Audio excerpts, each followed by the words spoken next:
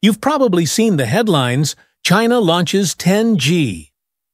10G Internet now live in Shanghai. Sounds like China just leaped into the future, right? But is it real progress or just powerful branding? Some call it the next chapter in China's digital dominance. Others say it's marketing smoke and mirrors. In this video, we unpack the truth. What exactly is 10G? Is China really ahead of the world, or just reshaping the narrative? Because in today's world, speed isn't just about connection. It's about how fast influence travels.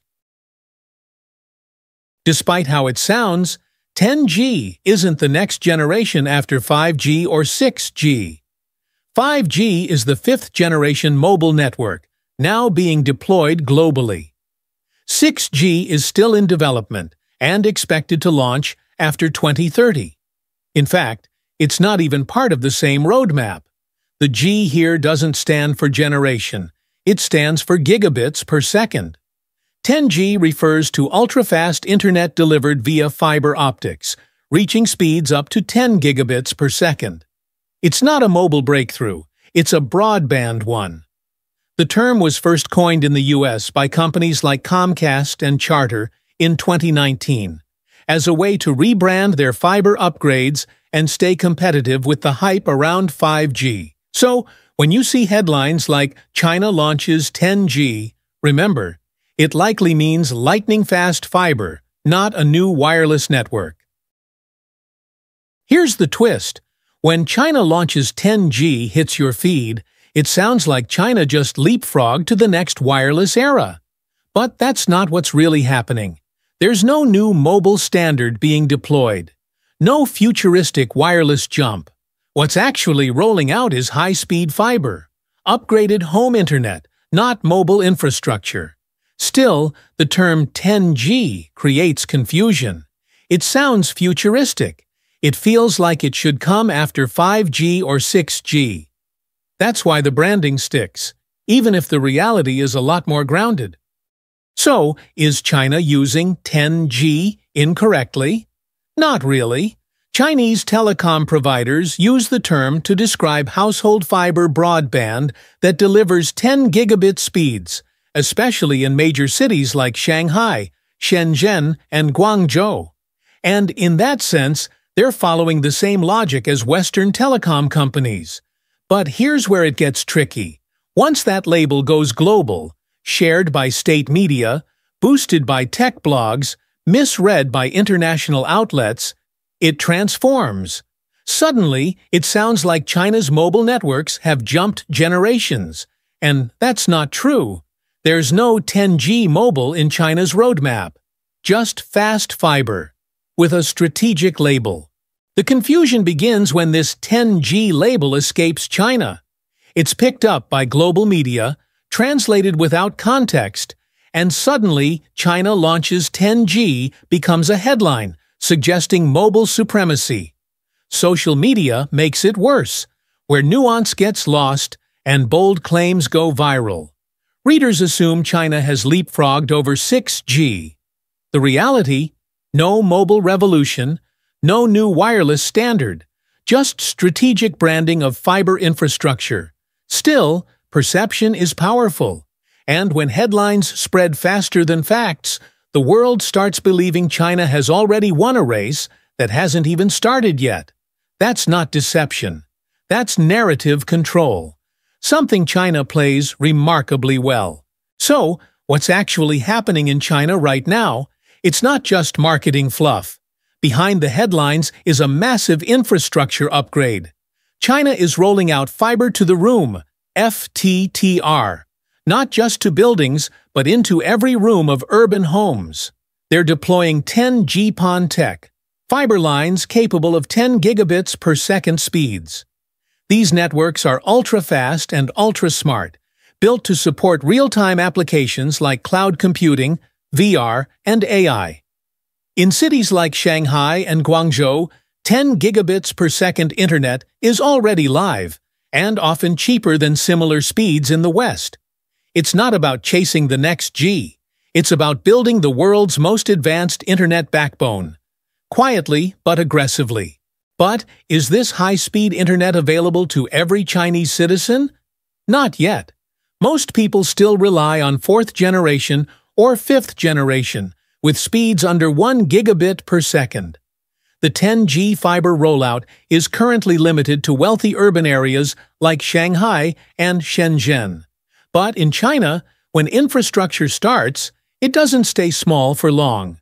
What begins as a pilot in elite districts often becomes nationwide within a few years. So while 10 gigabits isn't everywhere today, it's not just an experiment. It's a blueprint, and China knows exactly how to scale it fast. So is China actually leading the world in ultra-fast networks? In some ways, yes. Certain Chinese households now enjoy faster home internet than users in the US, South Korea, or even Japan. Tech giants like Huawei and ZTE are already developing gear that can push speeds from 10 up to 100 gigabits per second. And China is experimenting with cutting-edge 6G concepts, including quantum satellite relays and terahertz transmissions. This isn't just about going faster, it's about redefining what fast even means, and setting the bar for everyone else.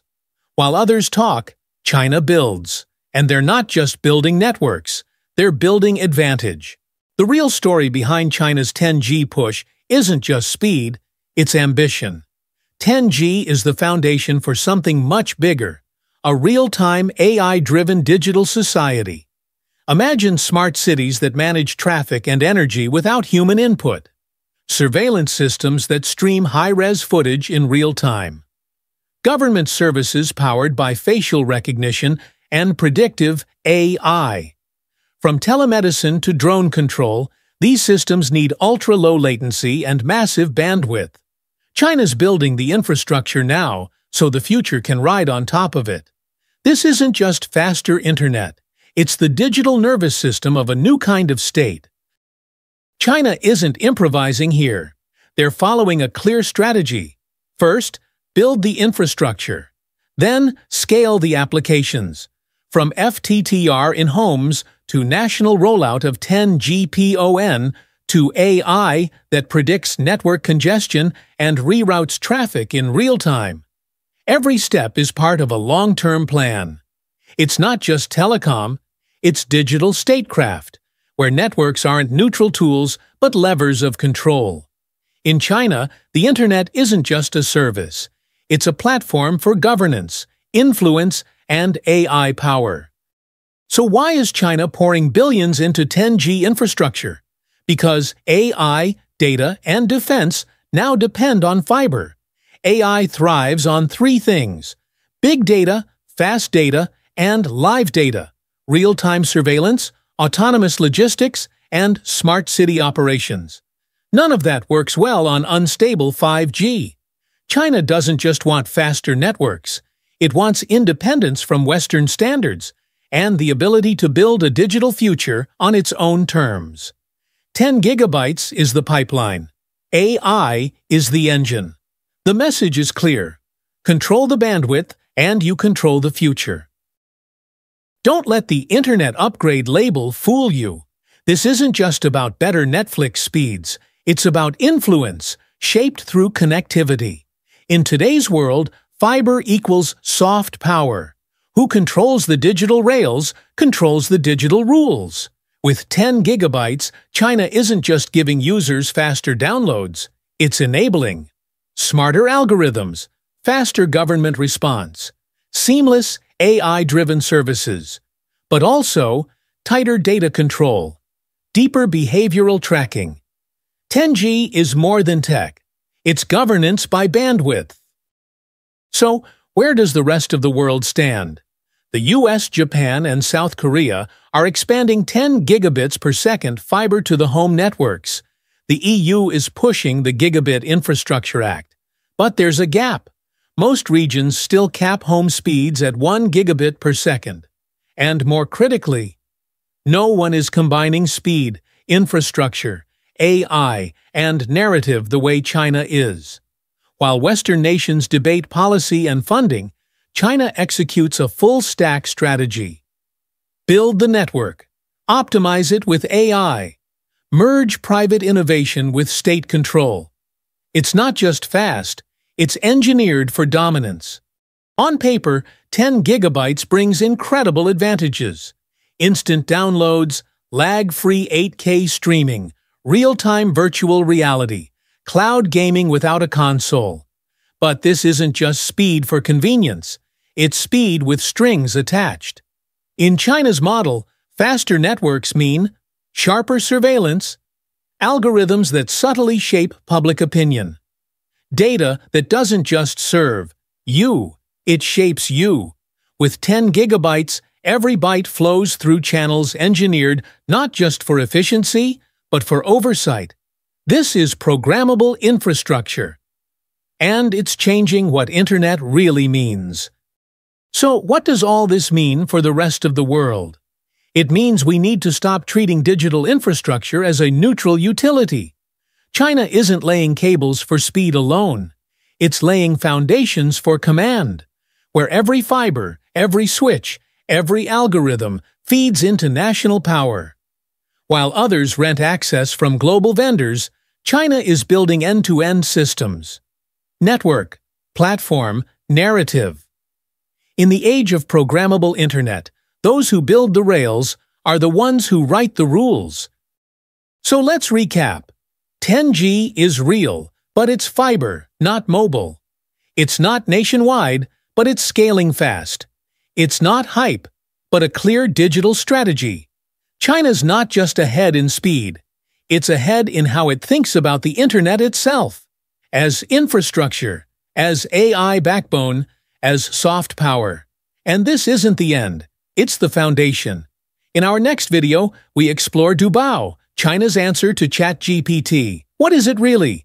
A censored chatbot, or something more powerful? No noise, no hype, just signal. Only China AI. Explained